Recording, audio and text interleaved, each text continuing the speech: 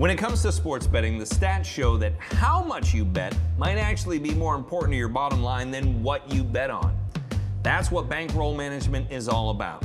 It won't tell you who to bet on, but it will guide your decisions as far as how many bets to make and how much to wager. In this video, we break down the basics of how to manage your betting bankroll.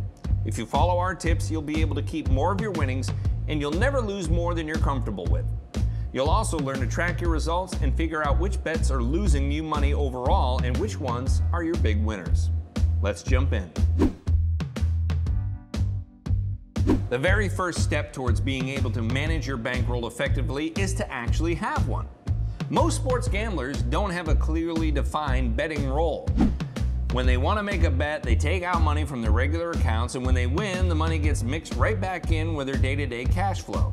It's a big mistake, and it's the number one reason most people don't have a clear picture of how much they're actually winning or losing over a month or a year. A lot of people might be watching this saying, yeah, yeah, yeah, that's so obvious. But do you actually have a separate betting roll? First, decide on how much you can afford to put towards betting on sports and separate it from your regular bank accounts and day to day finances. Once you have your betting bankroll separate, don't add to it and don't take anything out of it. If you have a good day and win some bets, don't immediately pocket the money and start spending it on regular stuff. The goal is to grow your betting bankroll to give you more ammo to bet with in the future. That's never going to happen if you're always spending your winnings. Staking systems refer to how many bets you'll make and how much you wager on each bet. There are a lot of different options, but for beginners, we highly recommend a fixed staking system.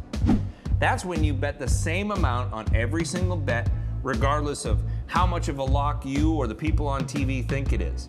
We also recommend making fewer bets. As a beginner, it's way more valuable to spend your time researching the teams and players you plan to bet on. Betting the same amount and making fewer bets overall will make step three way easier.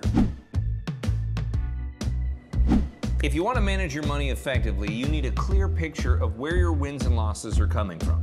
You can get special software to help you do it or just start with a simple spreadsheet.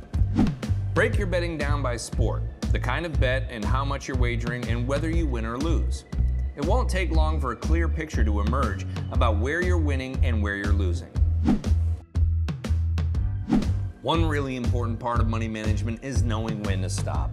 If you had a bad run and you're getting emotional, you're way more likely to chase your losses by making bad bets and betting more than you're comfortable with. Decide on the number that you're willing to lose in a day or a week, for example. If it's $100 and you lose it all on the first day of the week, stop betting and go back to studying until the next week and the next $100. If your week starts off really well and you win all your bets, it's also a good idea to stop betting and lock in a profit for the week. The final step might sound obvious, but in real life, it's the number one way people sabotage their own money management plans. When you run bad and lose your entire week's bankroll on day one, it's tough to stick to the plan and stop betting completely. Having the discipline to follow your money management rules is a big difference between smart betting and what most gamblers are doing. For lots more information, check out our full guide to sports betting bankroll management, available for free on WSN.com. Thanks for watching and good luck.